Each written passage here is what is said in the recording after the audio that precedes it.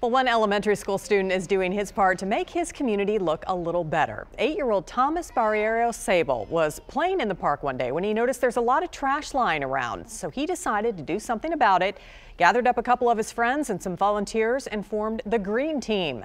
The kids spent the day cleaning up Nolensville Park and say they are just getting started.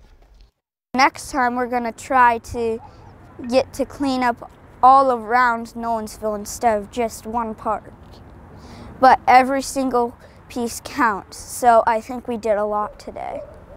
Good for them. The kids say their work today helps prove that everyone can do their part to help the environment.